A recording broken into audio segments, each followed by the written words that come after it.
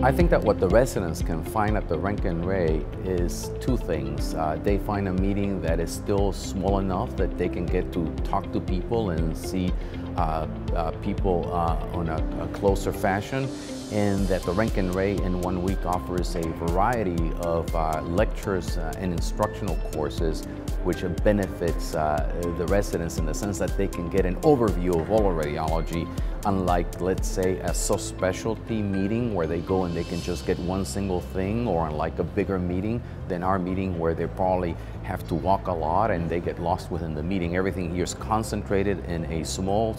smaller space, uh, and it's easier for the residents to find what they want to listen to and what they're interested in.